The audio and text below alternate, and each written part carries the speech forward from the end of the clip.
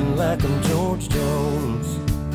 Smoke rolling out the window, and ice cold beer sitting in the console. Memory laid up in the headlights has got me reminiscing on the good times. I'm turning off a real life driving, that's right, I'm hitting Easy Street on Day, Potts Farm was a place to go. Load the truck up, hit the dirt road. Jump the barbed wire, spread the word. Light the bonfire and call the girls. King and the can and the Marlboro man. Jack and Jim were a few good men where you learn how to kiss and cuss and fight too. Better watch out for the boys in blue and all this small town. He said, she said.